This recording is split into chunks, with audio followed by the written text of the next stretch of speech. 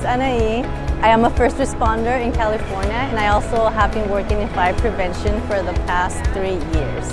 I'm here with Fire Coat, which is a water-based fire retardant paint that you can apply on the outside and the inside of your structure and they are launching across Ace hardware stores this year 2024.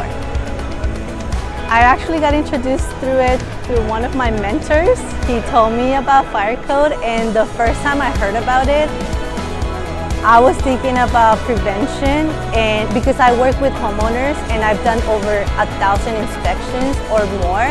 So I immediately thought, huh, this is something that homeowners will be highly interested in because they will see this product immediately as this is a way that I can home harden in my structure.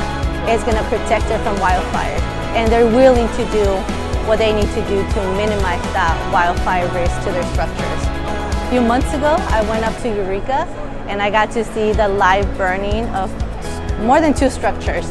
And it was mind blowing because one of the last ones, they uh, put three flames.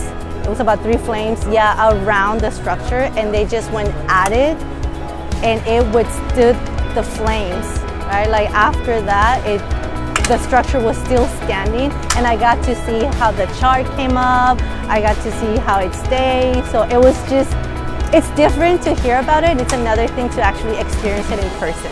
So to be there and like see that was just like mind blowing.